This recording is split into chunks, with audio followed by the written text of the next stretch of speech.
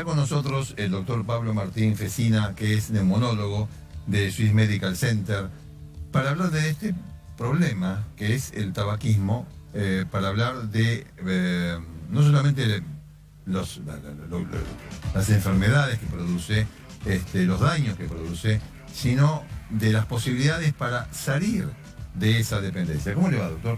Buenas tardes, muchas gracias. Eh, 44.000 personas mueren en el país por año, si son 120 por día, eh, vinculadas, por afecciones vinculadas al tabaco. Hablar de las afecciones vinculadas al tabaco creo que es conocido.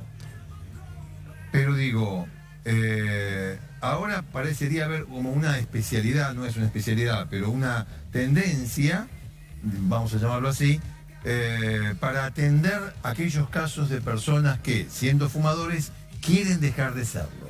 Exactamente. Eh, nosotros como profesionales de la salud hay diferentes ramas, cardiólogos, clínicos, neumonólogos, que nos encargamos de lo que es cesación tabáquica.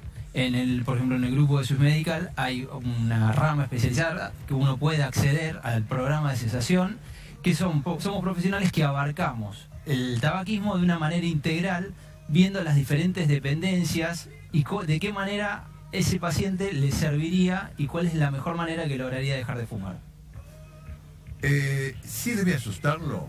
Por ejemplo, usted sabrá, más, antiguamente por lo menos el médico decía, mira, vos fumás y te va a pasar todo esto y una, una, una serie de horrores que le pasaban igual, que de hecho pasan, pero ¿eso sirve? En, general, o sea, el miedo es una, es una de las motivaciones a la consulta. La verdad que yo no lo utilizo como una estrategia eh, que perdure en el tiempo, porque el miedo después de que uno resolvió el problema, pasó, y entonces uno trata, digamos, de no tanto remarcar las enfermedades, porque como usted dijo, ya uno ya las conoce y demás, sino uno trata al revés, de buscar lo positivo de los beneficios que va a lograr cuando deje de fumar. Por ejemplo.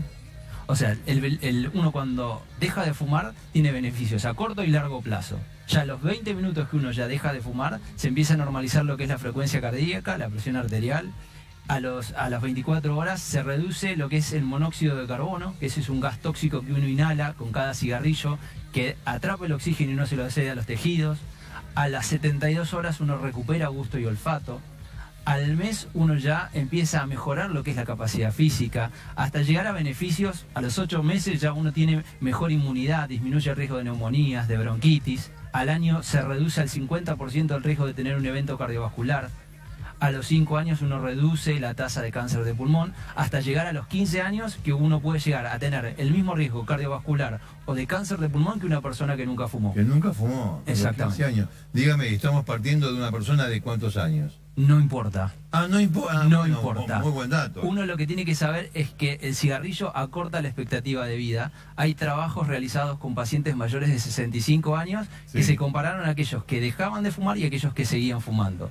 Y se encontró que esa tasa de reducción de la expectativa de vida que ocurría en aquellos pacientes que fumaban se recuperaban en pacientes que ya mayores a 65. O sea que nunca es tarde para dejar de fumar. Si un pibe de 22 años viene y dice, pero doctor eso me va a pasar el día de la carapela. ¿Qué le dice usted? Lo primero que le digo... Un pibe fumador. ¿eh? Exacto. Un pibe, piba, no, viene al caso. Varón ni mujer. Que, es muy joven, 25 ¿eh? años. Bueno, tengo una molestia, estoy, tengo cierta fatiga y lo va a ver. Bien. Bueno, eh, más allá de la consulta clásica, el tema es, ¿usted qué le dice como relaciona al cigarrillo? El cigarrillo lo que ocurre es un daño silente, o sea, que cuando genera el daño ya es irreversible. Entonces, la medicina que nosotros estamos tratando de imponer es una medicina de prevención. No atacar el problema, sino tratar de prevenirlo. Y entonces, o sea, el cigarrillo cuando ya genera el EPOC, con la medicación que logramos mejorar los síntomas, pero nunca lo revertimos. La enfermedad cardiovascular ocurre lo mismo. Entonces, uno trata de exponerles todos los beneficios que va a tener al momento de dejar de fumar y haciendo hincapié en las diferentes terapias y tratándolo de como una manera individual. No para todos es lo mismo. No para todos. ¿Hay personas que soportan el cigarrillo de diferente manera? En realidad, uno, lo que el, daño que le ocurre al cigarrillo, hay una predisposición individual, o sea, no es que todo fumador va a tener cáncer de pulmón o todo fumador va a tener un infarto. Uno cuando fuma lo que hace es aumenta, Aumenta la probabilidad. la probabilidad. Exactamente. Eh, sí, dígame. no, dígame. No, no, quería hacer una pregunta ya para ir redondeando, que tiene que ver con eh, las cuestiones sociales. El cigarrillo es un elemento social. Este, se fuma en las reuniones sociales, en las reuniones entre amigos. Uno por ahí, después, eh, durante el día no fuma, pero a la noche tiene un evento y en el evento fuma. Exacto. Bueno, fantástico. ¿Cómo se- y además lo piensa. Esta noche me voy a fumar un cigarrillo. O uno, lo que sea, o dos, lo que sea. ¿Cómo se hace con eso? Pues ya eso sale de lo físico. Exacto. O sea, es como le decía, uno trata de abarcar el tratamiento de forma integral. Uno es la dependencia física, que es la dependencia de la nicotina de ese cigarrillo, ¿sí? Que el cigarrillo tiene nicotina, pero tiene más de 4.000 químicos, que Sí. a la vez potencian el efecto de la nicotina. Más de 250 se sabe que son tóxicos y más de 50 están asociados con algún tipo de cáncer. Si uno fuera todo tan sencillo, uno daría un reemplazo nicotínico y dejaría de fumar y no ocurre por esto, justamente la dependencia social. Entonces uno en las consultas trata de eh, poner tips de lo que son eh, para las diferentes conductas, ¿sí? Eh, cosas muy sencillas, cambiar la marca de cigarrillo, fumar con la mano de- al revés de la que uno fuma, no Ah. fumar en espacios cerrados, casa, auto, trabajo, Sí. para poder implementar todo lo que son las terapias conductuales para que el cerebro empiece a trabajar distinto. Y en lo que es en la parte social, esto sabemos que ocurre, cada vez es menor, digamos, por los lugares que ya no se permite fumar. Y entonces, porque muchas veces ocurre que uno está en una reunión social y eh, después de comer le da muchas ganas de fumar. Entonces, una, una- un consejo que uno puede darle es simplemente, las ganas de fumar duran un minuto y medio. Si uno logra generar una acción diferente para controlarlo, por ejemplo, levantarse y se lavar la, la, la cara, La- la cara, sí, o, generar otra, otra actividad, Sí.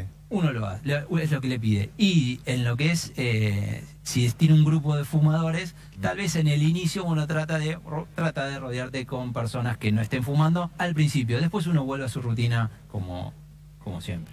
Doctor Pablo Fecina, muchas gracias, eh, Muchas gracias por haber ustedes. venido aquí.